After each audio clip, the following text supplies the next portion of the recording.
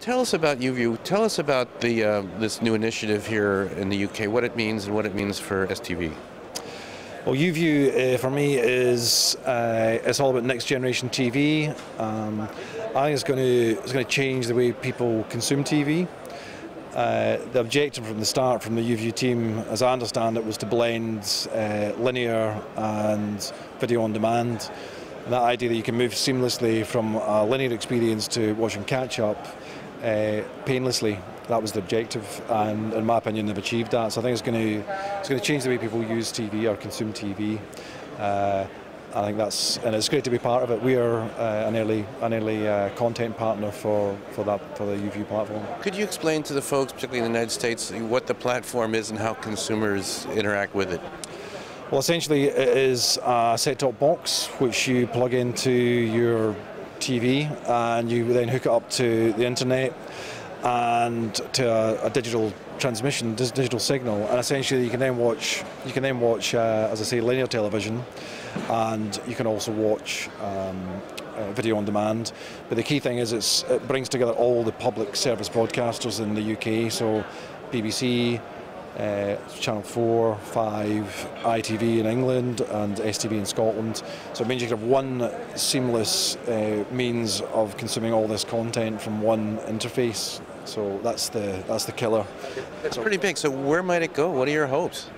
Well, again, there's other there's other ways of consuming this material. Uh, the, the beauty of YouView is you pay for the box, then it's free. Uh, depending on you know you can get to a retail store, you pay for the box, and then you, there's no there's no ongoing monthly fee, uh, provided you've got broadband connection. So I think that's the that's the key thing. It's uh, it's uh, it's the next generation of Freeview, as as uh, people in the UK will be familiar with the Freeview concept. So it's, it's next generation Freeview essentially. It adheres to certain standards around stream quality. So there's done a lot of work to make sure that uh, if, if the content provider adheres to those standards, the user's going to get a good experience. You know, they've, put, they've put a lot of thought into this. And for you guys, what's in it for you, and what are your hopes for STV? For STV, it's important for us. We are pretty relaxed about where people consume our content. So as long as we re retain the relationship with our advertisers and the relationship with our audiences, we're pretty relaxed about where people consume that material. For us, YouView it's important for us to be on all these platforms. So we've just launched on Android natively. We've just we're talking, you know, we're looking at Xbox, we're looking at LG, Samsung, Google TV. Uh, we're live on iOS, PS3, YouView Web. So for us, it's very, very important to be where our users are, where our audiences are. So we'll continue that strategy and go where the users are. So that's that's a big part of what we do. And the users are outside of the UK, or are you geo restricted, or how does that work? Uh, for YouView, we will uh, essentially deliver our service to audiences in Scotland, our audiences in Scotland. So the licensed areas in Scotland will receive the STV player, um, and in uh, other areas of the UK they'll get they'll get ITV. So it's, it's very important for us that we're delivering STV player to audiences within the STV license areas. That's uh, crucial for us. Yeah.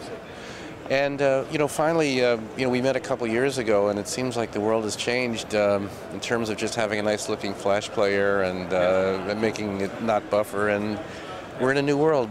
Where do things stand? Give us a kind of your point of view here at IBC and where digital video distribution stands.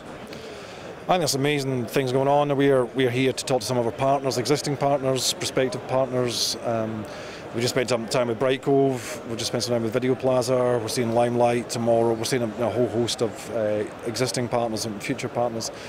Uh, for us, we just saw the Zencoder demo there of uh, you know real-time transcoding. I think it's going to you know very interesting. That idea of we typically get a video on demand piece on our player within probably 10 to 10 minutes to 30 minutes of broadcast.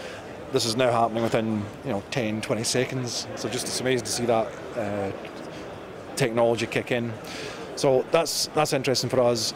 We're just about to redevelop all our player uh, user interfaces, so we're doing a lot of work on using responsive design. We're looking at having a, a consistent experience across all platforms. We're putting a lot of work in, into that right now, a lot of thinking into that. So our our web player was built nearly three years ago, so we're doing a lot of work right now on what next, and it's, it's a really exciting time to be involved in this space. So uh, that's what we're that's what we're thinking about right now.